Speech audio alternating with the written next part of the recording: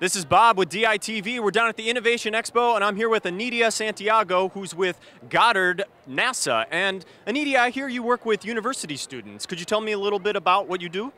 Yeah, as part of what I do, I work for the Innovative Technology Partnerships Office, which in layman terms is the tech transfer office. And what we do is uh, we um, get the NASA technologies and we decide if we're going to patent or not. And the stuff that is patent, we put it out there for people to build companies around it or build a product around it or use it for um, whatever they want to do. And in this time, uh, we're outreaching to um, university students. Um, providing them with technologies, NASA technologies that have been proven that work, and giving to them free range to look at them, do an assessment, and see if they can use it to build a company.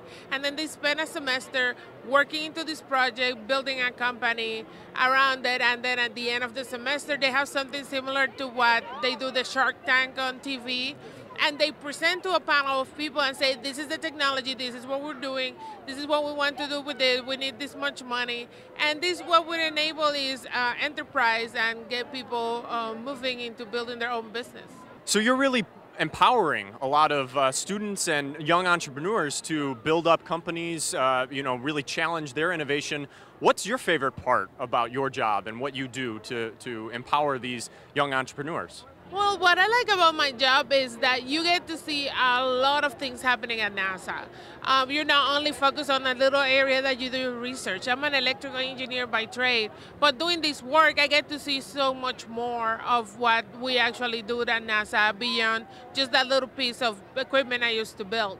Um, and then giving it back out to students and to anybody per se, because these technologies are available to uh, the public. Um, they get the chance to look at them and take it beyond that. And it's great to see them do the presentation at the end of the semester.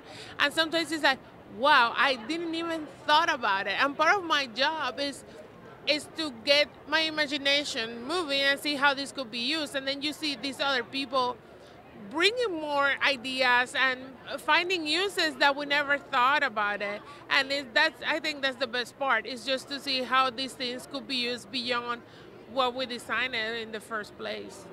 Well, that's great. We really appreciate the shared spirit of um, empowering innovation and creativity among uh, today's youth. Thank you so much for coming down and visiting Global Finals. No problem.